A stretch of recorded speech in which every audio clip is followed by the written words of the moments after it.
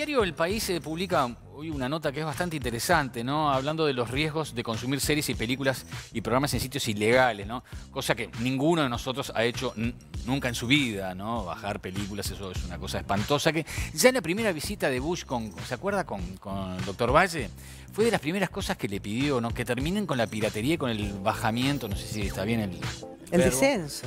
El descenso, el descenso, la bajada de, películas a través de distintos portales, ¿no? O sea, hay algunos muy conocidos, desde Cuevana hasta los tor toda la variedad de los torrent que hay. Y hay modalidades nuevas que justamente... Pero para, ¿funcionan bien esas... esas bueno, bueno. Hoy en día ya no es necesario, ¿no? Como que ya las plataformas ya te brindan todo, está todo. Pero lo que pasa es que hay mucho miserable en la vuelta y que la idea es no pagar, ¿no? Y, la gran plataforma de todo esto es el IPTV, ¿no? Que son la, posibilidad de ver la televisión a través de la banda ancha de, la telefonía. ¿No, no había Don Cana? ¿Cómo? ¿No había Don Cana, como dice usted, el IPTV? Bueno, sí, hay varios. IPTV es un, es un formato, ¿no? Que hay formas legales de IPTV. por ejemplo, muchas de las compañías telefónicas de las que utilizamos nosotros tienen un IPTV de pago. Hay IPTV trucho. Y lo que hay también, que es curioso, es este, la posibilidad de, distintas, eh, de parafernaria que se utiliza para la posibilidad de ver todos los canales del mundo de forma, no, no es gratis, sino que le pagás a un proveedor de servicio que generalmente no está en el país, que está en otros lados, le pagás y él te va... Muy barato, muy barato, ¿no? Muy barato. Sí, 300 pesos. Una sí, es una, disparatados los precios. ¿Qué, está pasando? Según un informe publicado en el 2020 por el Centro de Estudios de Telecomunicaciones de América Latina, titulado Dimensión e Impacto de la Piratería Online de los Contenidos Audiovisuales, dice que ha crecido un 145% en este último año. ¿no? ¿Y esto qué, qué implica, señora? Capaz que le interesa a usted. Esto implica una pérdida de 23 millones eh, para los operadores de TV Paga, esto es a nivel local, y unos 19 millones para los programadores de TV Paga en el mismo tiempo, o sea, todo esto en un año, ¿no? Entonces usted pudo, seguramente pudo ver una pieza publicitaria del Grupo Punto, hecho con todos los canales, con todos los broadcasters, con la URSEC, este, con, con, con, Andeu, mostrando cuáles son los... lo que está, los perjuicios que está generando esto, ¿no? Pero genera a nosotros, mucho de, tener la, ética propia de, no bajar contenidos eh, ilegales, mucho no nos mueve, ¿no? Entonces se recurre a otros mecanismos para asustarnos, ¿no? Que muchas veces son, son reales, ¿no? Y básicamente a través de IPTV o, a través de, estos, de estas canaleras que se, que se compran, o sea, te, venden, el proveedor te dice que te ofrece el servicio, pero que tenés que comprar la canalera tal o tal que está... Este, tuneada para que vos puedas ver todo, ¿no? ¿Cuáles son los inconvenientes que trae esto? Generalmente vos entrás un, una contraseña, un usuario, y el, software, esto Mangarili lo voy a tener mucho más claro que yo, el software entra y opera dentro de tu compu, en el caso que estés usando IPTV, que es a través del mm. teléfono, a través de la, computadora. ¿no?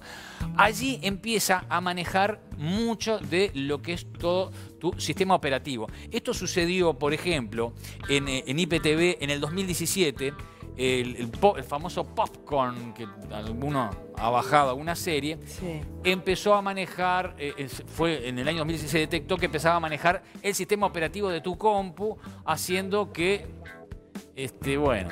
¿Qué? Te, liberaba todas las claves y se las vendía. O sea, ¿Ah, lo que te hacen es eso, ¿no? Te entra... problemas de seguridad. Exactamente, o sea, y lo venden. O sea, la, gracia de todo eso es vender después eh, la información que obtienen de tu computadora a aquel que le interese, ¿no?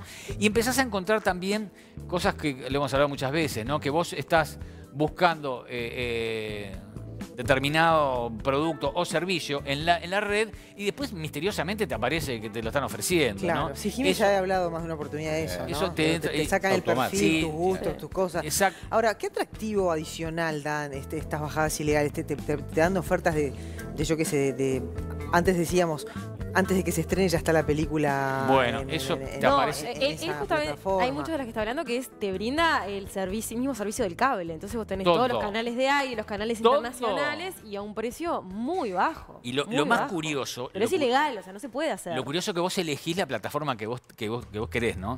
El VPN, no te voy a explicar, el VPN es eh, es un identificador de dónde vos estás ubicado, ¿no? Entonces, por ejemplo, en las plataformas de streaming, vos tu VPN te autoriza a que vos ves un streaming propio del local, ¿no? con, este tipo de servicios piratas, el VPN es el que vos quieras. Vos querés que ver la, TV de, Groenlandia y la tenés toda la TV de Groenlandia, toda, absolutamente toda, suministrada por un servidor que está en Australia. Mm. Entonces te brinda todo ese servicio, pago, vos le tenés que girar la, guita a un proveedor de, servicio que está en, Australia y te ofrece eso. ¿no? Lo que está pasando también es que se están desbaratando todos estos servicios piratas. ¿Y qué pasa, Claudia María? Aparece tu nombre, mm. tu contraseña, todo en lo que es la requisa judicial del país. Entonces dice, los tipos van presos Jimena y están ahí. Mira, está Jimena Sabari es cómplice de eso. Y lo están pasando todo a Interpol. Eso, se están enterando. Eso es un delito también. ¿Y qué, le puede pasar al usuario, digamos? Para mí es incurrirse en un delito. La, esta campaña que se, que se ve acá en la televisión uruguaya, eh, ¿está, dando resultados? Es decir, está yendo un poco por ese lado. entendiendo el consumidor de este tipo de cuestiones ilegales que no lo tiene que hacer más porque eh, es ilegal. Le, va, le vas incluso Este, su libertad y le puede costar un problema. sos una suerte de reducidor. Y bueno, este, estás comprando algo robado. Claro. Es como comprar algo robado, tal cual. entonces, ojo, ojo a todo esto, ojo porque eh, no hay posibilidad de hacerlo vos convertirte también en un trucho, usuario trucho, porque la identificación, tu VPN, la identificación de tu compu, no hay forma de, de adulterarla, o sea que, y además delitos complejos la tiene muy clara en esto, Ojo que si, se hace una campaña en serio, como se está moviendo se está ahora. una campaña, por eso te digo. Eh, van a caer, va a caer gente, o sea, se va a intimar gente que no puede hacerlo más. Ahora, recién contigo entiendo el alcance que puede tener y la, implicancia que puede tener uno por el simple hecho, porque vos desde la inocencia, sí, es difícil medir así, bueno, mira, voy a bajar acá, voy a mirar. ¿Qué puede ser que te pongan una multa? un problema. pero Claudia María, pasó que, por ejemplo, con las, con las antenitas, ¿no? Que fue el boom de las antenitas para ver señales truchas, ¿no? Eso se hacía fácil porque te hacían un vuelito con un dron arriba de un barrio y te sacaban que la casa de Jimena tiene una antena, la multamos a Jimena. Pero hoy, a, que a, través, de la, a través de la red, es más mm, difícil eso, ¿no? Entonces se hace a través de esto. Así que, Muy bien. ojo, este, ojo. no a la piratería. No a la piratería.